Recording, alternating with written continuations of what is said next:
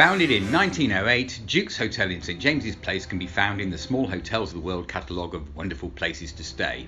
Alessandro Palazzi, the legendary bartender at Duke's, has collaborated with his neighbours Berry Brothers and Rudd to recreate Ian Fleming's Vesper Martini, immortalised in James Bond's Casino Royale. The number three Vesper Martini is a ready to pour cocktail combining number three gin, which has been voted the best gin in the world four times, vodka and vermouth.